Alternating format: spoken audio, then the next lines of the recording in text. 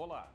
Os ministros do Supremo Tribunal Federal continuam agora à tarde com o julgamento da ação penal 470 e também a análise da fixação de penas aos condenados na ação.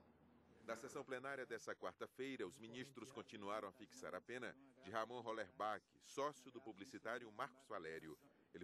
Pelo STF pelos crimes de formação de quadrilha, corrupção ativa, peculato, lavagem de dinheiro e evasão de divisas.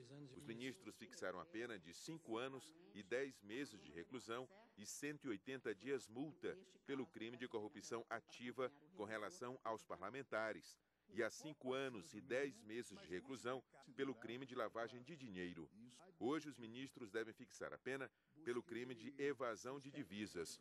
Ramon Rollerbach já havia recebido as seguintes penas: dois anos e três meses de reclusão pelo crime de formação de quadrilha, dois anos e seis meses de reclusão e cem dias multa por corrupção ativa em relação à Câmara dos Deputados, dois anos e oito meses de reclusão e 180 dias multa por corrupção ativa em relação ao Banco do Brasil, três anos de reclusão e 180 dias multa por peculato em relação à Câmara dos Deputados, e há três anos, dez meses e 20 dias de reclusão e 190 dias multa, também por peculato, só que em relação ao Banco do Brasil.